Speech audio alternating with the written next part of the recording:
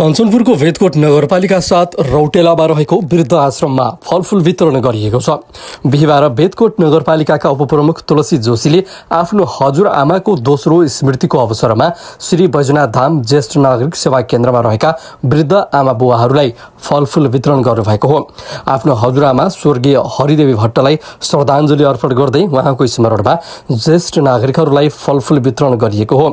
आफ्नो हजुरआमा पनि वृद्ध उमेर बयासी वर्षमा ब्रह्मलिन भएको भएर यो आश्रममा पनि वृद्ध आमा बाबुहरू बस्ने र आफ्नै हजुरआमा जस्तो स्मरण आएको भएरै उहाँको स्मरणमा फलफुल वितरण गरिएको उपप्रमुख जोशीको भनाइ रहेको छ।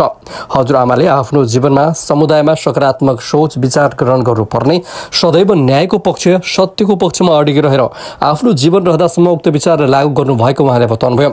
सँगसँगै उहाँले आफूसँग पनि आफ्नो हजुरआमाको त्यही शब्दहरू आफ्नो जीवनमा लागू गरेको र पाएको उहाँले बताउनुभयो। उहाँको जीवन बानी व्यवहार ज्ञान अर्थी उपदेशबाट नै प्रभावित भएर अहिले आफूले पनि उक्त बाटोमा हिँड्ने प्रयास गरिरहेको उपप्रमुख जोशीको भनाइरहेको छ।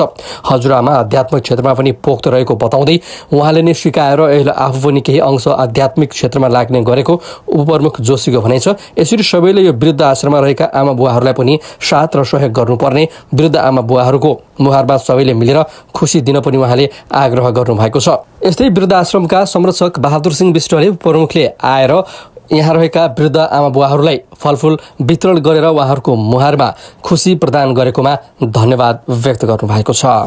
आज हाम्रो बैतकोट नगरपालिकाका तुलसी जोशी उमेरु उहाँको हजुरआमाको मृत्यु उपलक्ष्यमा उहाँले आज आमाहरू आमा बुवाहरूलाई टोरा टोरी भनौँ। यिनको जसको कोही छैन उसको भगवान् छ भने जस्तै उहाँहरूलाई खाना फलफुल भोजन तथा आफ्नो नान सानो दक्षिणा वितरण गरेर उहाँले आफ्नो एउटा आफ्नो ऊ गर्नुभएको छ र यसै गरेर हजुरहरू पनि उहाँहरूको सेवामा कुनै त्यस्तो छ भनेपछि उहाँहरूले गरिदिनु पर्यो भन्ने मेरो अनुरोध छ। हाम्रो शुक्लाफाटा टिभीलाई सब्सक्राइब गरेर सहयोग गरिदिनुहोला।